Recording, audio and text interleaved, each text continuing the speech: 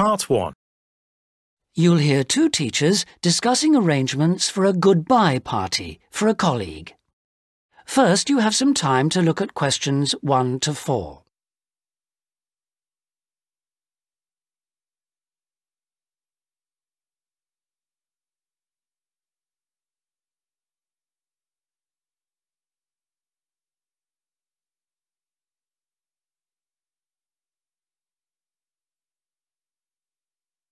Listen carefully and answer questions 1 to 4. Hi, Tony. Thanks ever so much for coming.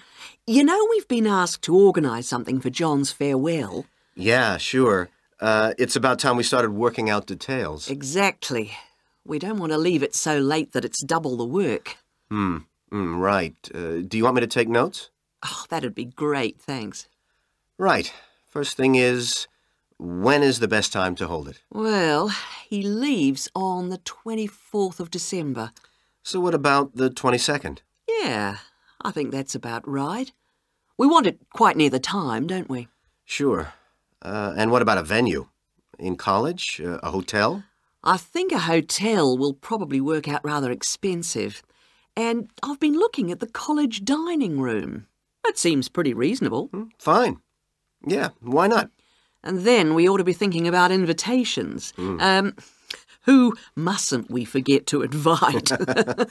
well, obviously, John and his wife, right. uh, and the director, Uh huh. the office staff. Yep.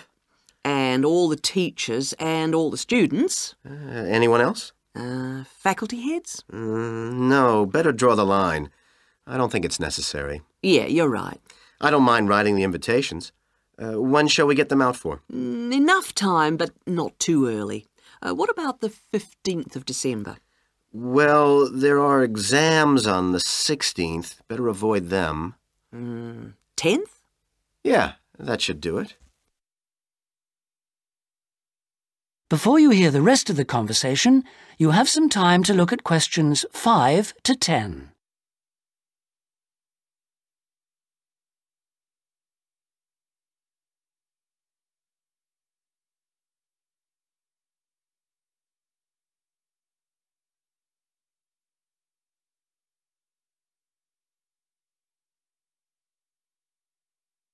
Now listen and answer questions 5 to 10. So, what does that leave? Oh, yes, um, a present. Um, would you mind doing that? No, not at all. We usually go round with an envelope during coffee break, don't we? Yeah, uh, coffee break's always the best time, because people have got their money handy. yeah, exactly. Uh, do we suggest an amount, or does it seem a bit unfair? No, I think people welcome it. We suggested $6 last time. Is that okay? Yeah, plenty, I would have thought. Which should leave us with about $90? Mm, have you any ideas for presents? Well, I've been having a little think.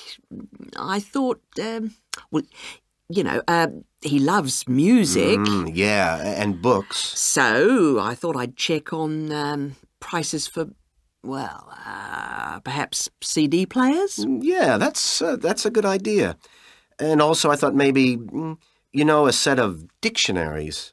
I heard him say he needed a good one. The other thing he was saying last week was that his computer printer had broken. Um, no, uh, I'd be really frightened about getting the wrong type. okay. The other thing is something for the home. Uh, Jill suggested a coffee maker. Oh, yeah. I'll certainly find out what they cost. Uh, okay. Have you got all that down? Uh, yes. Now, we need to think a little more about the money. I know we've got a set amount from the social fund. Mm, right. Uh, what does that cover? It's meant to cover the cost of the room Yeah. and a certain amount for food. And also drinks? Oh, yeah, certainly. But will it be enough? What we've done in the past is to ask guests to bring some snacks. Right. We don't ask them to bring more drinks because we figure that's, uh, well, that should come from the social fund. Okay. Uh, anything else for the guests to bring? Well, uh, oh, some music, because there'll be a tape deck there in the room, and we can have some dancing later on. Uh, anything else? Well, it's just a thought, but a couple of years ago we had a really good party where we set up, uh, you know, some simple games. yeah, great. Uh, wasn't it based on photos from the students and teachers? That's right. uh, so we should ask the guests to bring photos. Okay, I'll put it on the invitations. Now, the last thing is um, who shall we ask to do the speech? Mm, don't you think it might be nice to have one of the students? Well, uh, then the student leader? Yeah, much better than the director giving speeches again. Okay, then I'll ask her. Hmm, lovely. So, is that all? It looks like it. Great. Oh, thanks ever so much. That is the end of part one. You will now have half a minute to check your answers.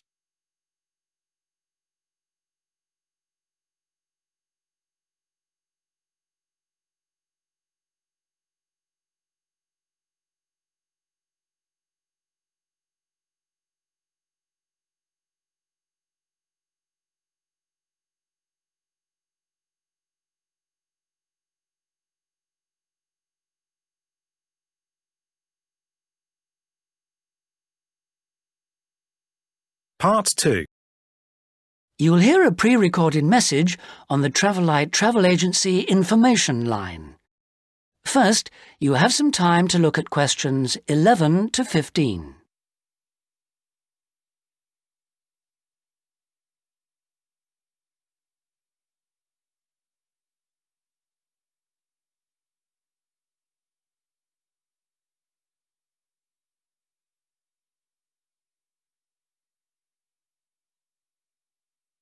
Now listen carefully and answer questions 11 to 15.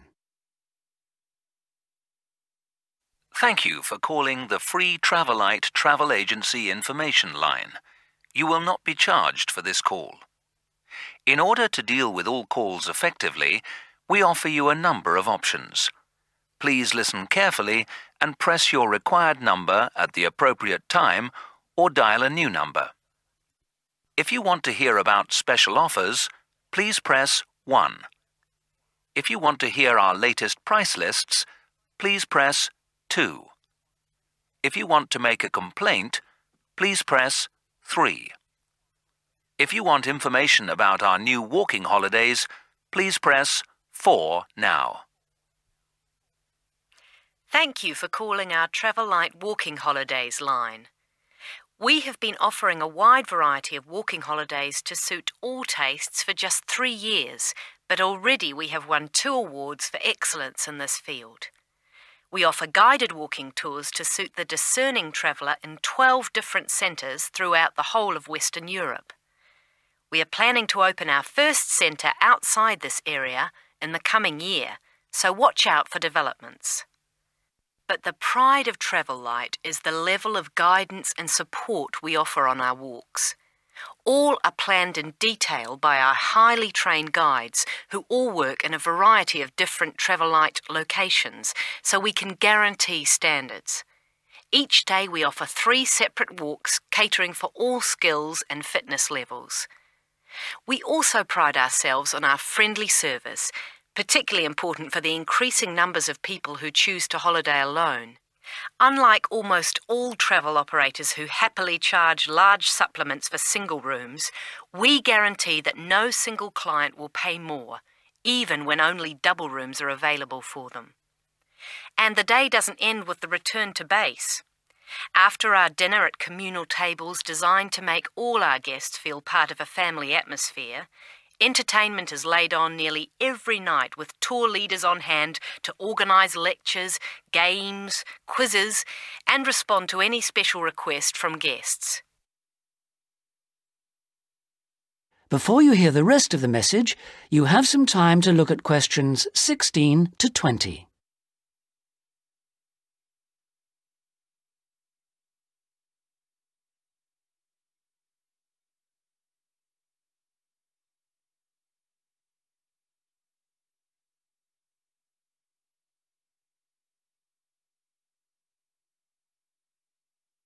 Now listen and answer questions 16 to 20.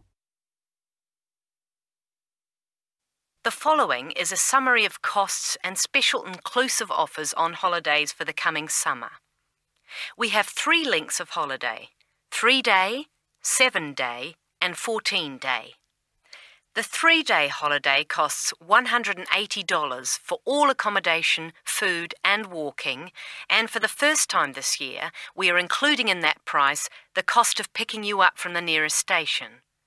The seven day holiday costs $350 per person and, as well as including the offers of the three day holiday, also includes a magnificent book giving the local history. On top of that, we are able to include free maps for you to better enjoy the walking and even plan in advance if you wish. For the 14 day holiday, our special price is $690 per person and that includes all the offers for the three and seven day holidays, plus membership of a local walking club, so you can better enjoy the full flavour of the local life. For further information, please contact your local travel agent. Thank you for calling the Travelite Travel Agency Information Line. That is the end of part two. You now have half a minute to check your answers.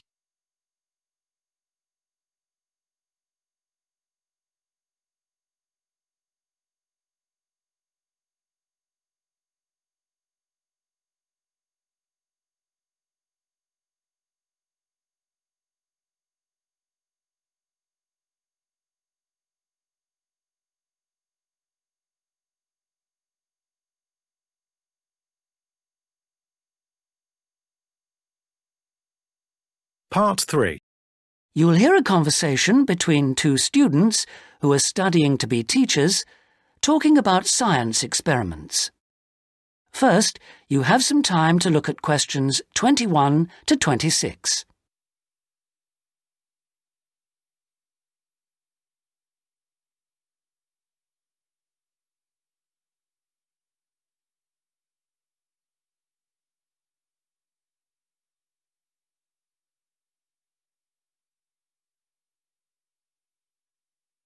Now listen carefully and answer questions 21 to 26. Hi, Sue. Hi, Mike.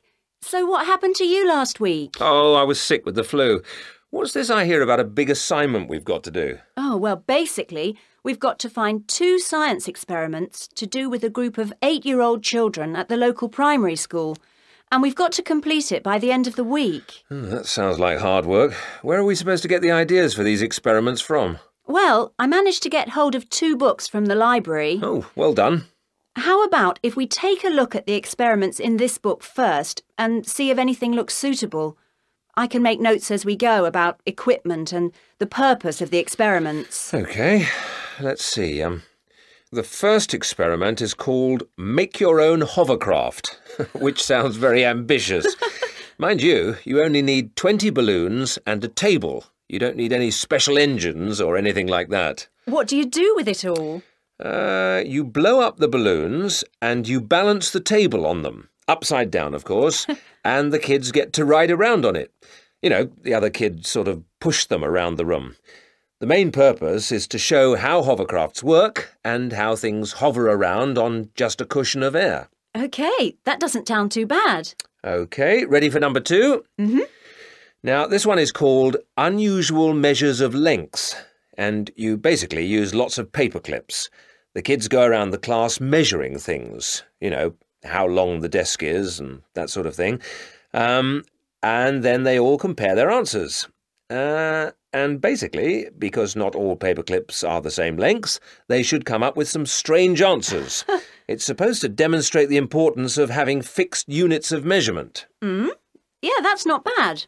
OK, now for number three, you need rock salt or copper sulfate. Oh, I'm not sure about that. Well, just put down the rock salt then. Um, apart from that, you only need a jar of water. Um, and basically, you dissolve lots of salt into the water and watch the crystals form. So it basically teaches the kids about growing crystals. Yeah, I suppose it would be nice to grow something. Hmm. let's move on and have a look at number four. OK, this one is called Spinning Colour Wheel. It looks like you get some cardboard and draw a circle on it, divide it into six equal segments, and colour each one in using different colours. Then you thread a piece of string through the middle. So we'd need some string as well. Yes, sorry. Um, and you spin the wheel around, and if you can get it spinning fast enough, hopefully the colours all merge and show up as white. Oh, I didn't know that. What's the principle behind it? Well, it's pretty elementary physics, really. It teaches them about how white light or ordinary light is made up. Hmm. Well, that doesn't sound too bad. Now, there's only one more left in this book, isn't there? What does that one say? Um, well, it's another one where they'd get to make something. Sounds very interesting. You need quite a lot of equipment, actually.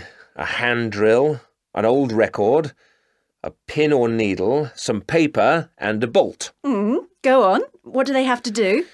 Well, they basically make a record player. The main idea is to teach them about recording sound, but hopefully they'd also see that you need motion and an amplifier to make the sound heard.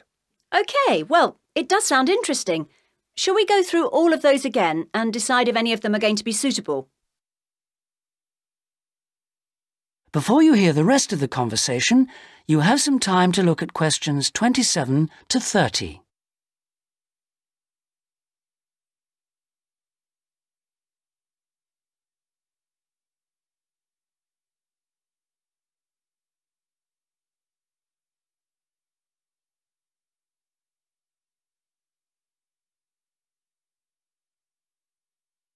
Now listen and answer questions 27 to 30. Right. Number one.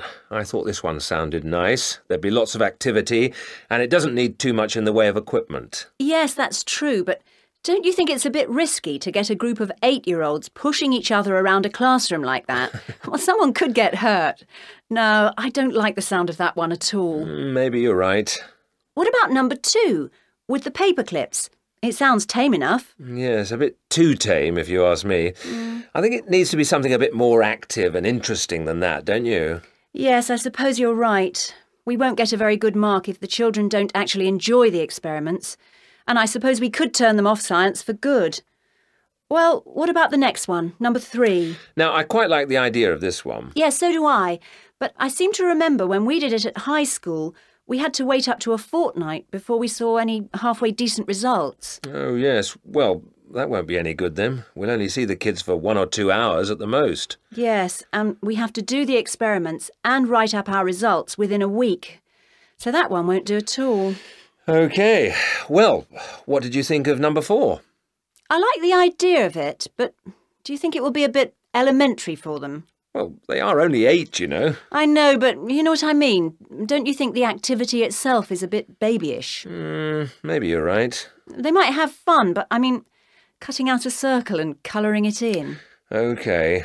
Well, what about number five? I thought this one sounded a bit too good to be true. Great equipment. Yeah. But don't you think it's a bit ambitious for this age group? I mean, I don't want to start off something and then have to abandon it if they just can't cope with it. I could see us ending up doing just about all of the work for them. I guess you're right.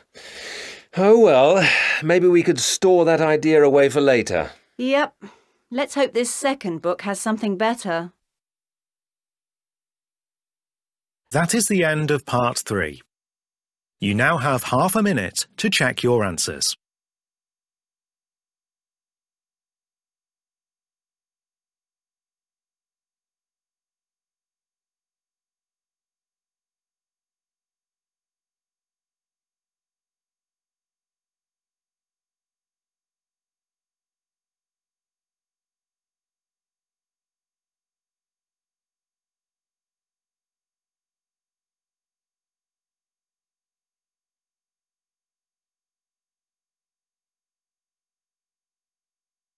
Part 4. You'll hear a lecturer talking about the meshing of sharks in Australia. First, you have some time to look at questions 31 to 40.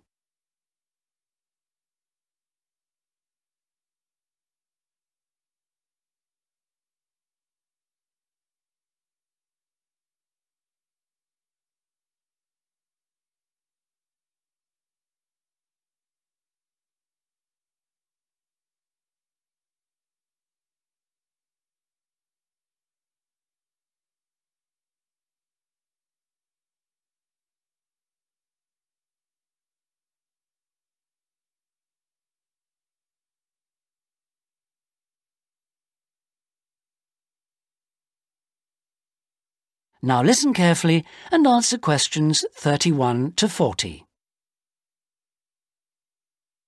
Today we're going to look at one of my favourite fish, the shark.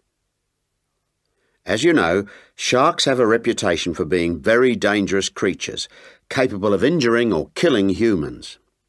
And I'd like to talk about sharks in Australia.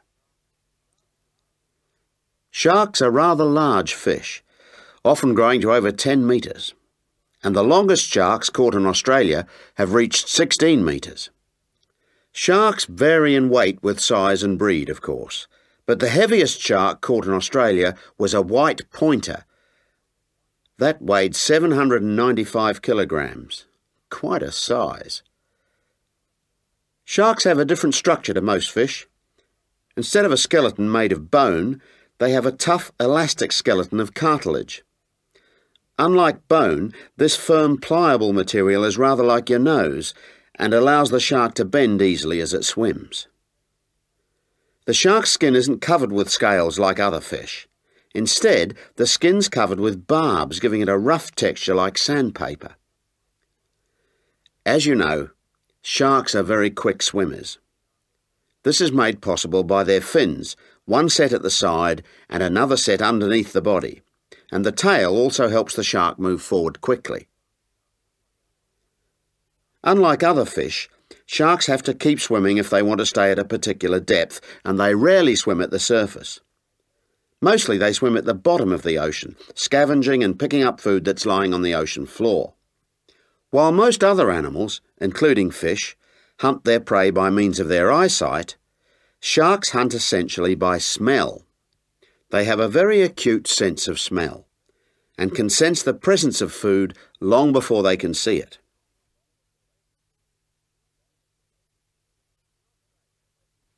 In Australia, where people spend a lot of time at the beach, the government has realised that it must prevent sharks from swimming near its beaches. As a result, they've introduced a beach netting program. Beach netting, or meshing, involves setting large nets parallel to the shore. This means that the nets on New South Wales beaches are set on one day and then lifted and taken out to sea on the next day. When shark netting first began in 1939, only the Sydney metropolitan beaches were meshed. These beaches were chosen because beaches near the city are usually the most crowded with swimmers.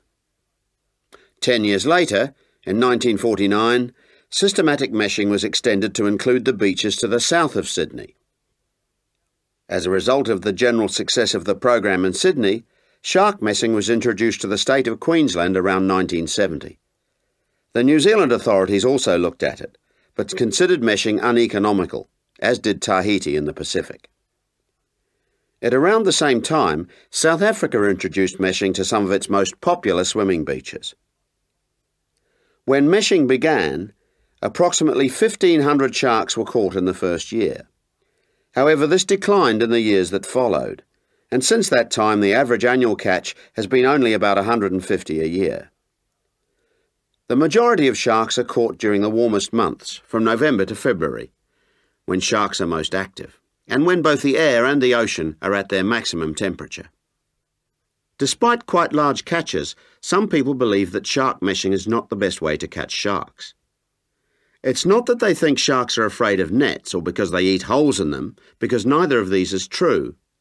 But meshing does appear to be less effective than some other methods, especially when there are big seas with high rolling waves and strong currents, and anything that lets the sand move. The sand that's holding the nets down. When this moves, the nets will also become less effective. That is the end of part four. You now have half a minute to check your answers.